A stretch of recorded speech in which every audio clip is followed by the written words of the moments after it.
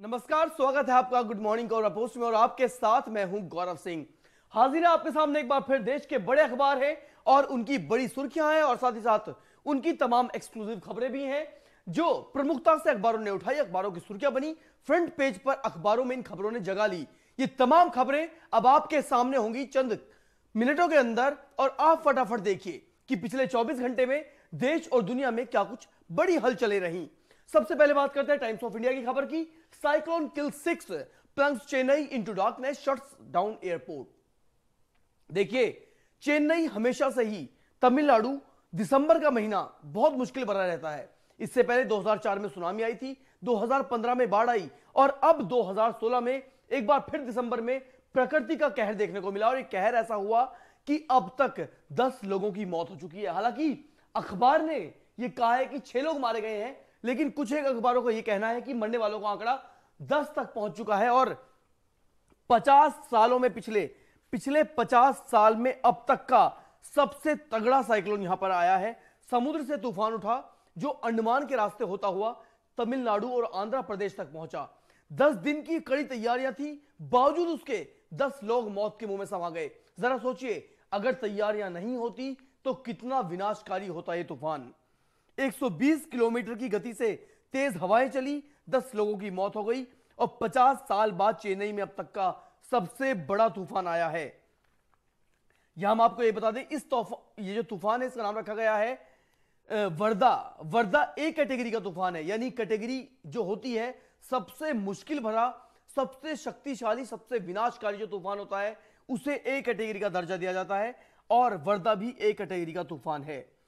बहुत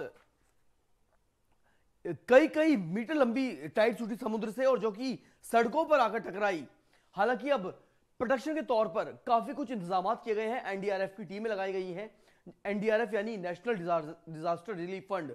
ये तमाम 19 टीमें लगाई गई हैं जो कि बहुत सारे लोग हैं, उनकी हेल्प कर रही हैं, रेस्क्यू ऑपरेशन चल रहे हैं।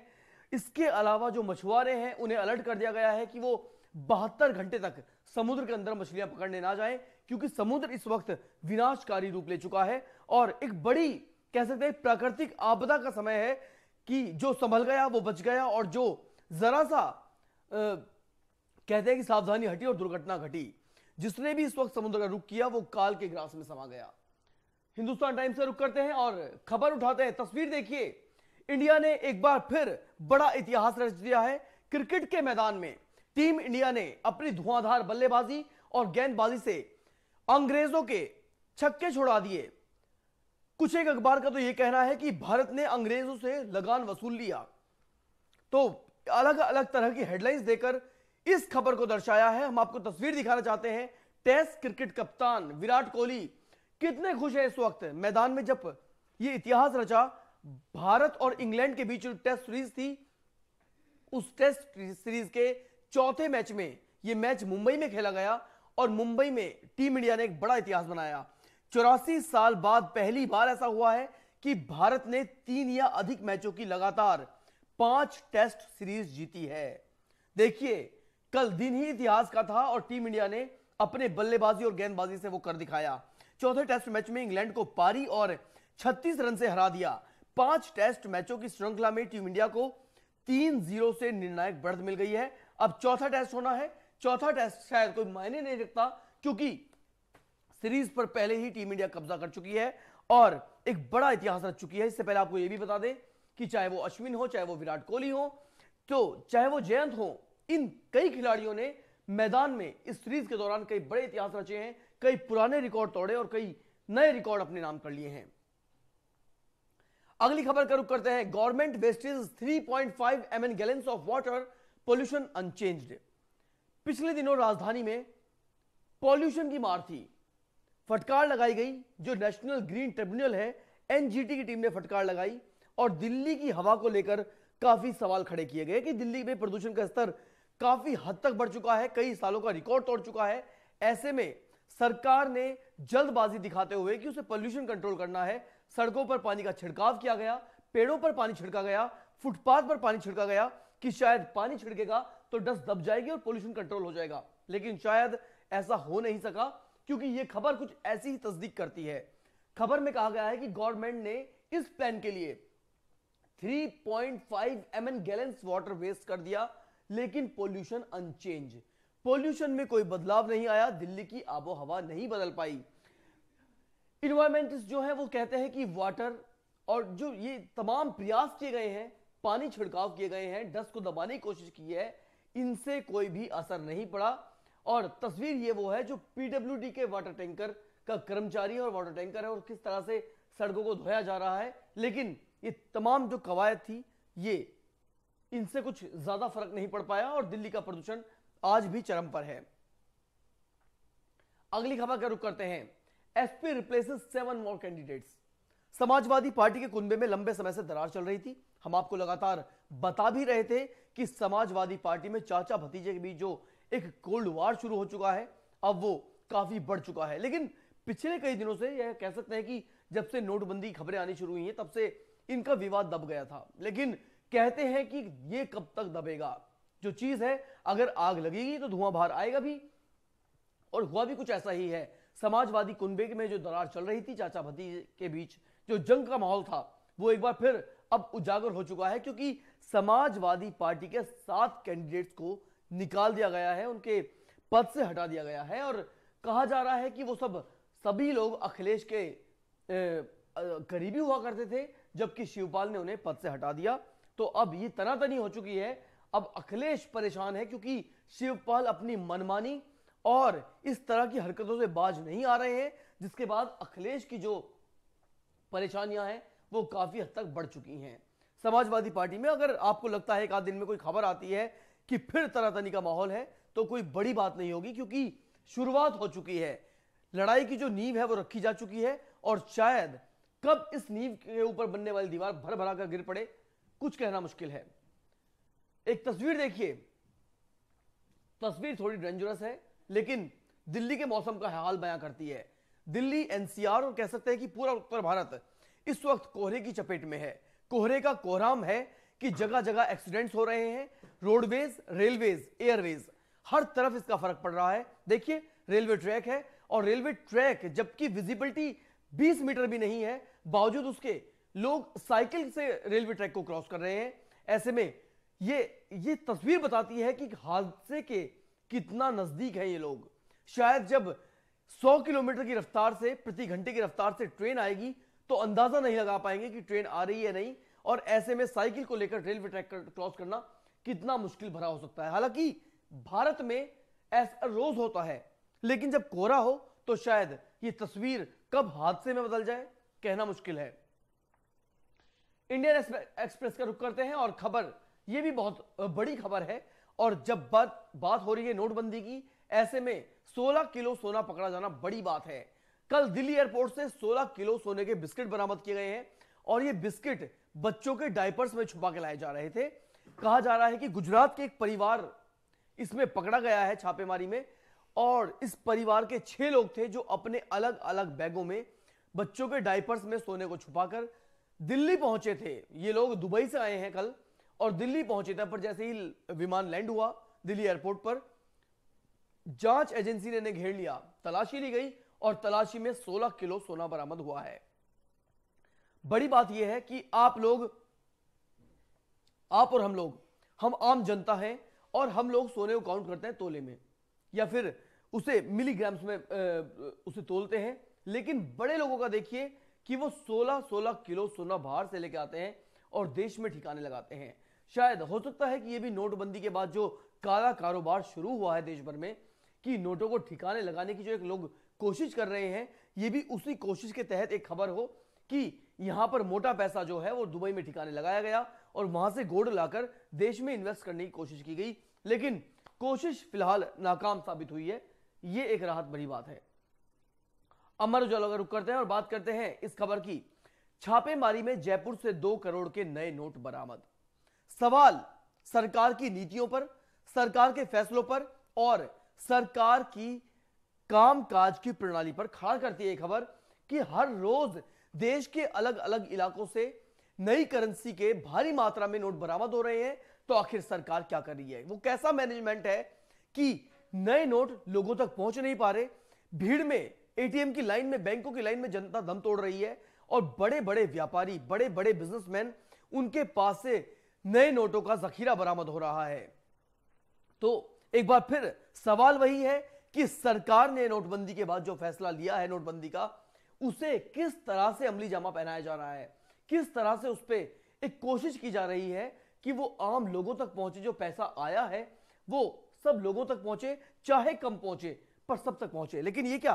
कि जगह जगह कहीं सत्तर करोड़ के नए नोट बरामद होते हैं तो कहीं दो करोड़ के, कहीं छह करोड़ के तो कहीं पंद्रह करोड़ के नए नोट बरामद होते हैं। अगर यही चलता रहा तो आम आदमी तक पैसा कैसे पहुँच पाएगा? क्या आरबीआई सवालों के घेरे में है? या फिर सरकार की नीतियाँ सही नहीं है, जवाब किसी के पास नहीं है। कल एक और खबर आई नोटबंदी पर कि पाँच साल में बंद होगा 2000 का नोट। जो दो 2000 का नोट सरकार ने जारी किया है, अब पाँच साल के अंदर यह भी बंद होगा, क्योंकि 500 का नोट होगा सबसे बड़ी करेंसी अब सिर्फ़ सबसे बड़ी करेंसी के तौर पर देश में ना हज़ार का नोट आएगा। हज़ार का नोट आपको पहले ही बंद किया जा चुका है। इसके अलावा 2000 का नोट जो सरकार ने फ़िलहाल के लिए निकाला है वो भी अब जल्द ही बंद हो जाएगा। ये कहना है, ये दावा किया गया है सरकार की तरफ़ से, भविष्य में भारतीय भारतीय अर्थव्यवस्था में पाँच सौ रुपए का नोट सबसे बड़ा नोट होगा, क्योंकि अगले पाँच साल में दो हज़ार का नोट बंद होने जा रहा है। यह दावा है संघ से जुड़े आर्थिक विचारक एस गुरुमूर्ति का। संघ के हैं और संघ और बीजेपी में ज़्यादा फ़र्क नहीं किया जा सकता, क्योंकि मिली जुली एक बात है और मिली जुली कह सकते हैं कि एक सरकार है तो ज़्यादा फ़र्क नहीं किया जा सकता। अगर कोई बात संघ ने कही है तो बहुत मुमकिन है कि बीजेपी शायद ऐसा मानती हो या फिर इस तरह की कुछ नीतियाँ बनाई जा रही हो। पंजाब केसरी का रुख करते हैं और बात यह भी नोटबंदी से जुड़ी हुई है, कैश कांड। फंसेंगी बड़ी मछलियाँ। रोहित टंडन से मिली नकदी में एक पूर्व मंत्री, बिल्डर और नेता के नाम का खुलासा हुआ है। आपको बता दें कि दिल्ली से सटे गाजियाबाद में कल बड़ी एक रेड पड़ी है जिसमें काफ़ी मात्रा में कैश बरामद हुआ है। ये काला धन बताया जा रहा है और वकील की फर्म टी एंड टी के कार्यालय से बरामद हुए हैं तेरह दशमलव छह पाँच करोड़ रुपए। यानी तेरह करोड़ पैंसठ लाख रुपए बरामद किए गए हैं और 2.60 करोड़ के नए नोट भी मिले हैं। यह बड़ी बात है कि ढाई करोड़ के नए नोट आखिर आए तो कहाँ से आए? किसका पैसा था? कल हाई प्रोफ़ाइल तरीके से एक गाज गिरी है। छापेमारी हुई, उसके बाद अरेस्टिंग हुई, पूछताछ हुई, हिरासत में लिया गया, कैश को रिकवर किया गया, कैश को अपने कब्जे में लिया गया। ये तमाम चीज़ें ऐसी हैं जो सवाल एक बार फिर खड़ा करती हैं सरकार और आरबीआई की कार्यप्रणाली पर और साथ ही साथ देश में गोरख धंधे की पोल खोलती है कि देश में किस तरह से गोरख धंधे का काला खेल चल रहा है बड़े बड़े लोगों पर के पास कितना मोटा पैसा मौजूद है। एक और देखिए अब सरकार का नया गेम देखिए। कितनी बड़ी बात है। कैमरे काले धन का राज खोलेंगे। कल की सबसे बड़ी खबर, सरकार ने 600 बैंक शाखाओं में स्ट्रिंग ऑपरेशन करवाए, जिसके बाद फुटेज रिकॉर्ड करवाई गई और फुटेज 400 सीडीओ में पीएमओ को सौंपी गई हैं।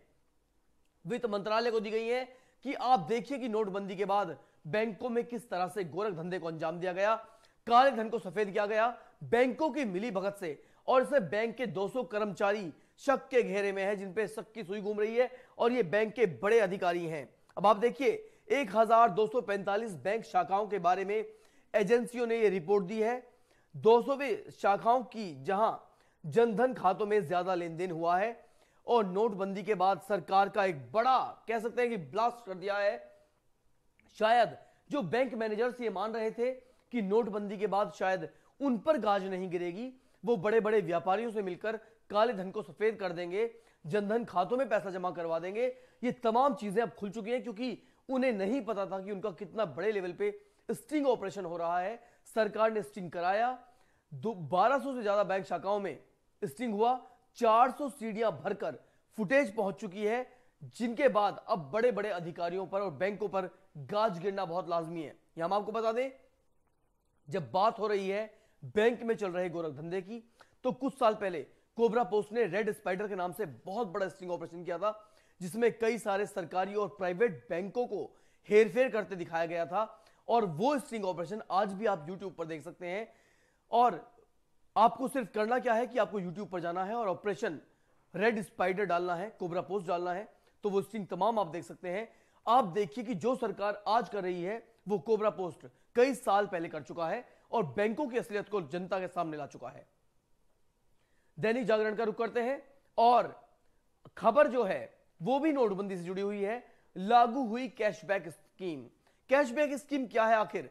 पहले वो आपको बता दें कि अगर आप ऑनलाइन पेमेंट करते हैं, आप डिजिटल पेमेंट करते हैं, प्लास्टिक कार्ड, जैसे कि Paytm, credit card, debit card, ATM card, इन तमाम तरह के कार्ड से कैशलेस लेन देन करते हैं तो आपको डिस्काउंट दिया जाएगा। वो डिस्काउंट, चाहे वो एल का प्रीमियम हो चाहे वो पेट्रोल, डीजल भरवाना हो, चाहे वो बड़े बिल्स जमा करवाना हो गवर्नमेंट डिपार्टमेंट्स में तो इन तरह के बिल्स पे वित्त मंत्री अरुण जेटली ने कहा था कि सरकार आपको पाँच से लेकर दस परसेंट तक का डिस्काउंट देगी और आज से यह स्कीम लागू होने जा रही है। अगर आप कार्ड का इस्तेमाल करके पेमेंट करते हैं तो आपको आज से डिस्काउंट मिलना शुरू हो जाएगा और यही कैशबैक स्कीम है।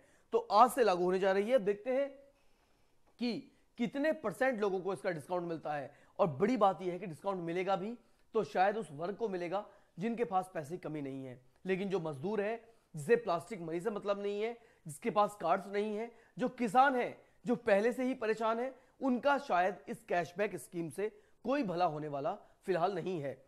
हो सकता है कि आने वाले सालों में यह स्कीम किसानों तक, गाँवों तक और मजदूरों तक पहुँचे तो बात अलग है। फ़िलहाल उनके लिए कोई राहत नहीं है।